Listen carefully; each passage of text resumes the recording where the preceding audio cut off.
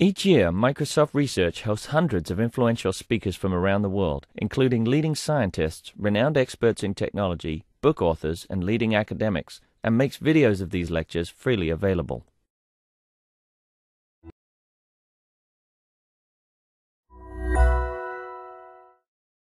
Hi, I'm Katherine Lo. I'm from the UC Irvine Department of Informatics. Um, and I study collective action uh, towards common goals or social good um, across and beyond major social media sites. And when I say major social media sites, I'm talking about like Facebook and Twitter. Um, and in, in, part because uh, I study Reddit uh, a lot of the time, and a lot of people actually dismiss Reddit as not being like a serious social media uh, medium. And so um, I also work with Intel on their diversity and technology initiative, specifically on games, and I moderate a bunch of subreddits. And so um, the subreddit that's kind of most relevant in the situation is one called Girl Gamers. It's a subreddit where um, a bunch of women come to talk about games and everything.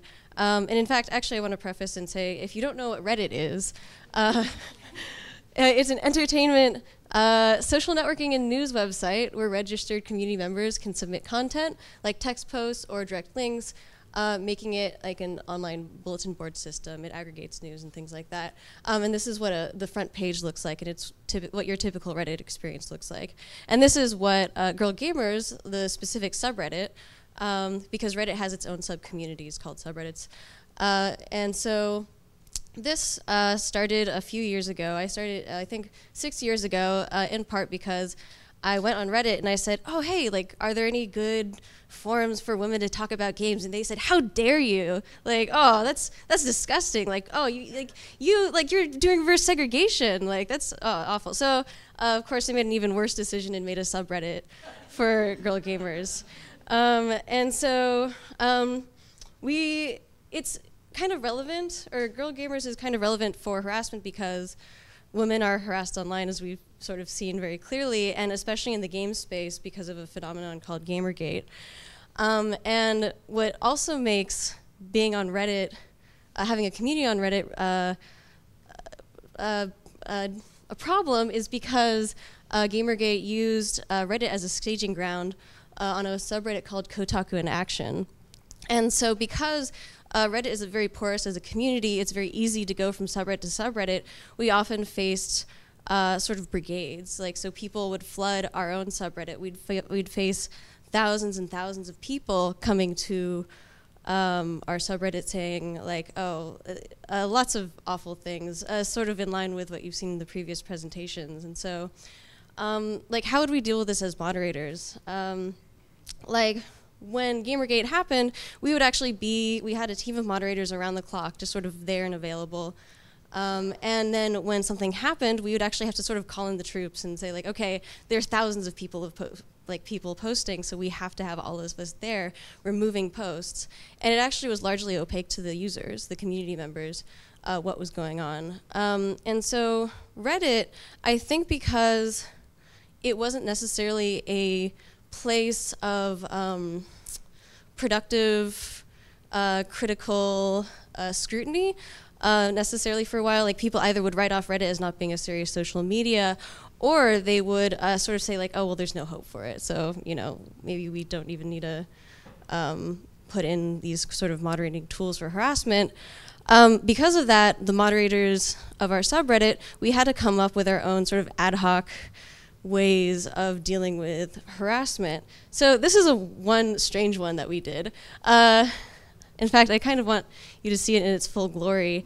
Uh, basically, what happened here, oops, what happened here is, um, wait, oh yeah, no, but um, yeah, what happened here is that uh, if somebody would link to a post on our subreddit, um, then everybody could go flood and like say like do horrible harassing things, like say a lot of awful comments. So one of our moderators coded a system where it just made complete nonsense, and so everybody who would go click on that link to go harass our community would see this, and there's nothing they could do. Um, and oops. So, oh wait, is there a way for? Oops. Yeah. So, um, oh wait, the right here. Yeah. Um,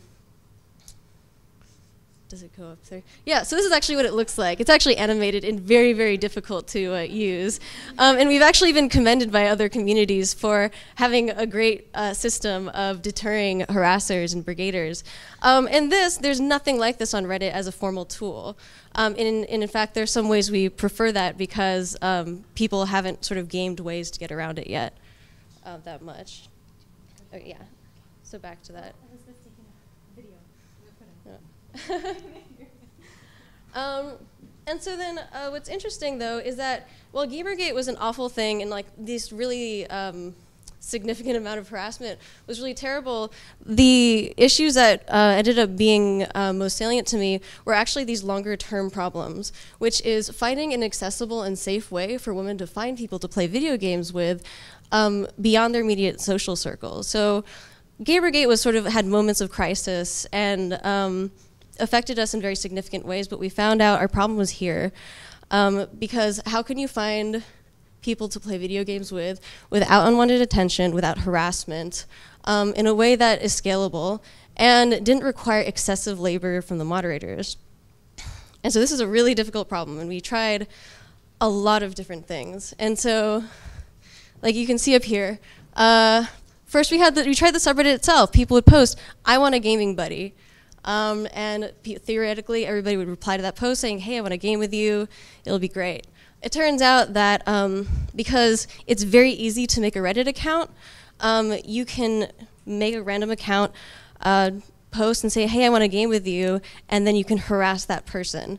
Um, and there's no way we can find out about it. Um, and it's actually not very public because you can private message them. So we thought, okay, uh, let's go somewhere else. We had an IRC channel uh, for girl gamers, and so it's like at least we're all in the moment there. But then um, we had the uh, obstacles of like, well, you always have to have moderators like standing by. Um, it's not necessarily very scalable. Like text goes by very quickly. We used a Facebook page. Um, people didn't engage with the page very well, so we used a Facebook group. And what we did in that case was we only allowed um, self-identifying women to join the Facebook group because that was sort of our easy solution. And um, the problem with that, though, was not only did it take incredible labor from the moderators, um, it was also um, uh, not trans-inclusive. Like for people who wanted to compartmentalize, um, and uh, didn't want to link up their gaming identities or their Reddit identities with their Facebook account, they couldn't join this group. Um, then we had a Steam group. Uh, Steam is a uh, gaming platform uh, where you have online communities for gaming. Um, that was similarly hard to regulate because it's very easy to make an account and it's hard to account for um, harassing private messages and all that. So finally, we have uh, a recent system which is Discord, and it's like a Slack channel but with voice chat. Um, and it's been working all right. We don't know if it's scalable yet, it's very new. Um, and so it turns out we didn't just abandon each one of these, we continued using every single one of these systems. And it's, it's really difficult to keep track of them all. There's a team of like five moderators, um, and it's very difficult to get people to volunteer labor to maintain these kinds of websites, and nobody's going to pay you to do this. So that's what we're doing right now, and that's sort of our ad hoc solution. And actually, what's really unsatisfying is that um, despite hundreds and hundreds of women managing to find communities and gaming partners, like without harassment through this system, um, there are hundreds more who ended up trying to use the system safely and then getting harassed, getting awful messages from people and, and, and it being inescapable to the point that it was very traumatic for um, a lot of our community members. And so it, it feels a little hopeless, but at the same time, we found that our subreddit community had a lot of value for people in the sense that um, the, these are three posts that happened in the past week. Uh, somebody said, I'm looking for some support, guidance, IDK, general warm welcome, advice, and like you see like it got voted up a bit and like there's a 56 comments of support there. Um, then somebody said it's impossible to play Counter-Strike as a girl, like because you get harassed. Uh, it happens way too often, but if you mention it in the main uh, Reddit community for Counter-Strike, you get downvoted and harassed a lot. Um, and then there is a very, very popular post on uh, women harassing each other in the community. Um, and so it turns out that uh, this formalized space was really, really valuable for people. And I think um, while we often want to design sort of all encompassing tools that will prevent harassment from happening in the first place, um, there's, I think, a lot of value in formal spaces for venting, social emotional support, um, and for sharing and developing strategies to combat harassment. Because harassment always sort of evolves. People find ways to sort of game the systems as they exist. And um, they also find ways to harass people across communities that aren't Facebook and Twitter. Things that are Reddit, uh, these smaller communities like, I don't know, even on Slack, on IRC, um, and, and uh, I guess on Steam. And there, there's so many platforms. And a lot of the heuristics and solutions that we come up with don't apply universally across all of these different platforms. Um, and so this is a great post that's a good example. It's somebody said, do you stream? And they talked about, um, like, I just tried streaming on Twitch. Twitch is a, a video streaming service uh, where you, you play games and you stream it out to an audience. Um, and they said that they got like harassed a lot and they're feeling pretty discouraged and asked for tips. People flooded in and gave a ton of tips, like very personal. And, and this is what they said at the end. They said, You guys have restored my faith in humanity. I'm definitely going to try my hand at streaming again with your advice. And they like went back to streaming. There is no support system on Twitch or like anything for um, women who stream on Twitch who face a lot of harassment. Um, there's no place, and so a couple of them go to sub the subreddit and find it, and it's a completely different platform. So we've managed to have some successes, but like I said before, like there are a lot of obstacles. Um, and so part of it is the invis invisibility of those who are harassed. Uh, those who get these private messages don't actually talk about them or tell the moderators about them, so we have to like go digging to find out about it. Um, and there are wildly varying and occasionally mutually exclusive or seemingly mutually exclusive needs, like pseudonymity versus safety.